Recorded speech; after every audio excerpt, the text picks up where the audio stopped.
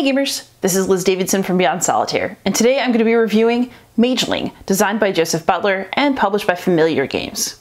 In a game of Mageling, you are a young mage who is attempting to travel through several locations as quickly as possible. In the multiplayer version of the game, you are racing other Magelings to try to be the first to clear all five locations in the game.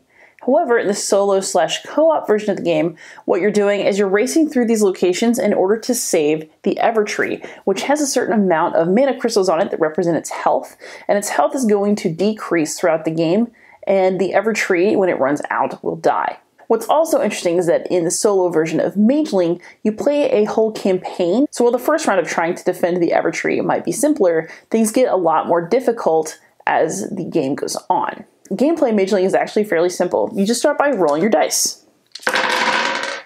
So this is actually a pretty good roll. So in a game of Mageling, what you end up doing is you get to keep as many dice as you want on your first roll. So let's say that I want to keep all three of these. And then you can re-roll as many as you want. So in this case, I got a nice set. I got three of one type of magic and then a pair of another.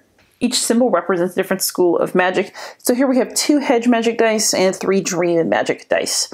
Then once your dice are rolled, you use your crystal to choose how you're going to deploy the dice. So in this case, I might take all three of these and place them in my focus area because when you focus, you can either place multiple dice with the same face or one type of magic die with as many of these finesse hands as you like in order to generate energy. So in this case, because I have three dice of the same type, I'm going to generate three energy. I could also put these two dice here into the gather section, where if you place pairs of dice, you gain a mana crystal. And the mana crystals are like energy that lasts from turn to turn. At the end of a turn in Mageling, you lose all of your energy, but you can keep your mana. So it's like a long-term energy source. If you have a finesse, which is a dice side with the hand, you can also choose to animate. What animate allows you to do is remove one of the cards from this market row. So if you don't like what's here in the nexus is what it's called, then you can do a little bit of rearranging of the market. There are also special actions on your crystal that you can take whenever you perform the animate action. Once you've done all of your die actions and generated some energy, then you have some choices about how to spend the, those dice and that energy.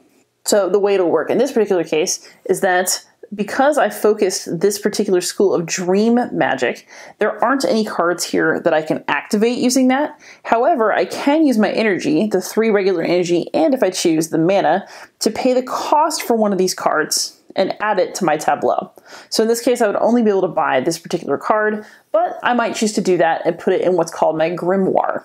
Once you have cards in your grimoire, you can activate them by putting dice on them that have a matching symbol. So if I bought this card with my energy, and then on a future turn I rolled a death die face, then I could put it here to activate this card and take the action on it. So energy is used to purchase cards and add them to your grimoire. It can also be used to heal cards. So when you have cards in your tableau, it's possible to get spawns on them that affect your ability to use them. So you can pay energy to heal spawns. And the other crucial use of energy is to move from one location to the next. In this case, the cost to quote defeat this location is eight, and it gets harder from here. So you're going to have to choose how to portion out your dice, which actions you want to take, which cards you'd like to purchase and or activate, and whether you want to use your energy for more cards or if you want to be concentrating on moving from one location to the next. As you go through this deck, there will be a lot of interesting cards that work well in combination with each other, so the game rewards extended play and a study of everything that's in the Nexus deck. In a solo or co-op game of Mageling, another thing that you have to think about in your turn is that every time a new turn comes by, the Evertree loses some of its health, and health goes onto these adversary cards up here. Technically, in the game, they're called the Ancient Ones. And every time one gets three health on it, so as the Evertree's health wanes, you unlock Ancient Ones who will then mess with your game. For example, this one, Otar, will force you to discard all cards of a certain type for the Nexus and then make each player take some sort of punishment. Meanwhile, as you discover new locations, you get to put this mana onto the Evertree. However, you're also going to uncover new potential bonuses and consequences at a new location. So here, this card will force players to either discard a mana or take a wound, while it will also decrease the cost of scrolls of a specific type. So locations often have good and bad consequences to revealing them. So the game is part race, part engine builder, and as you build up your tableau, you will get more powers, you'll be able to trigger more exciting combos, but you also have to move quickly because you're on a pretty strict timer if you want to keep the Evertree alive. The other interesting aspect of the campaign is that from round to round, once you finish beating one chapter of the campaign, then you get to take a card from the Nexus deck for your keep, which basically forms a second market that expands the market that's down here and gives you some cards that you get to reuse in each continuing game of your campaign. So now for some final thoughts. I have mostly good things to say about Mageling. It's one of those games that I appreciate because it reveals increasing depth on repeated plays. Seeing more cards from the Nexus deck, becoming more familiar with the abilities that are available in the game, and then learning how to build great combos is a very rewarding experience, and it's something that I've really appreciated during the plays of this game that I've had to prepare my review. I like games that become richer experiences the more time you spend with them, and Mageling is definitely doing that for me. I think it's really exciting that once you know what you're doing, you're able to set up some really awesome combos so that even though your dice don't seem to do much for you in the beginning, by the later game, you are setting off multiple cards with the dice that you rolled, and it's really exciting.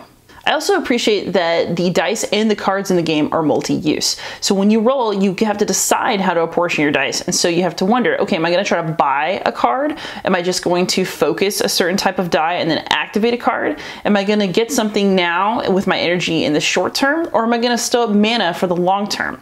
And so I like that there are multiple different decisions that you can make in the game. And I also like that making different types of decisions can still lead to legitimate victories. There's more than one way to do well in a game of Mage and so you can also try different playstyles and find success in those playstyles. The other thing that I appreciated about Mageling is the solo campaign. I think that it might have been too easy a game with just one solo scenario, but playing as a campaign, especially having to deal with more difficult challenges as the chapters go by, made solo play of Mageling more interesting, more challenging, and more fun. And I think it's the right level of challenge and also the right level of commitment because the campaign in this game isn't so long that it feels like a slog. It's just something to give the solo game or the co-op game some heft. I do also have a few complaints. My first is typical of dice games, which is that sometimes you're just gonna roll badly and you're going to have kind of a dead turn where you can't get very much done. This is especially true if you're rolling dice that don't go with what's currently in the Nexus or in the card market. I also find that in the solo game especially, the market row doesn't refresh as much as I would like. So when multiple players are interacting with cards from the market, purchasing cards from the market, focusing on cards that are then discarded from the market, you see a lot more cards in a game. In a solo game, the only way to really deal with cards that you don't want is to use your animate ability to refresh one on the market row. So you can only change one card at a time during a dead phase. My last concern about Mageling has to do with the rulebook. While I was able to eventually get all of my rules questions answered, there's some ambiguities in the rulebook that required me to go online, check the FAQ, check Board Game Geek, and generally do some research in order to understand how a specific aspect of the game was played, in particular the keep in the solo campaign.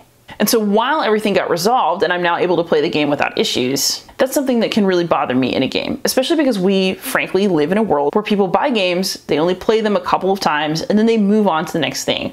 Cult of the New is reality in our hobby right now. And I feel like Mageling is a good game that could have given a slightly better impression right out of the gate. So let's circle back to what I said. Mageling is a good game. I think the gameplay is charming. I think that the gameplay gets better the more that you play. And I like that the designer is committed to the game. I know that there are expansions and further developments for Mageling that are in the works. So if you like it, it's only going to get better from here. So given the promise that Mageling has and the enjoyment that I've gotten out of it on repeated plays, I'm gonna give it a seven out of 10 and a Dice Tower seal of approval.